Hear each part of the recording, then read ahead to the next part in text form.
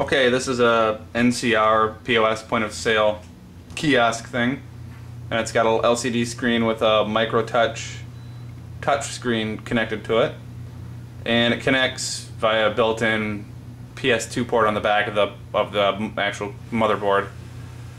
And um, I went and installed Ubuntu or X Ubuntu, and what happens, and this is pretty common with just about any distribution I've tried is when I boot in, I touch the screen, you can see the pointer right there.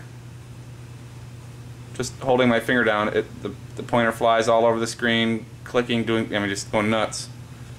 If I stop, you know, there it is. But my guess is it's looking at it as if it's a mouse. I'm not sure, but I have tried everything and have no idea how to tell it that it's a touch screen or how to change the, the way it controls stuff everything seems to be from like 2006 and older.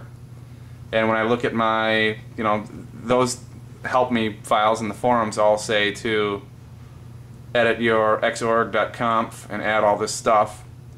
Uh, well, then I've read other people saying that it won't make any difference because xorg.conf and these newer versions of Linux ignore that kind of stuff.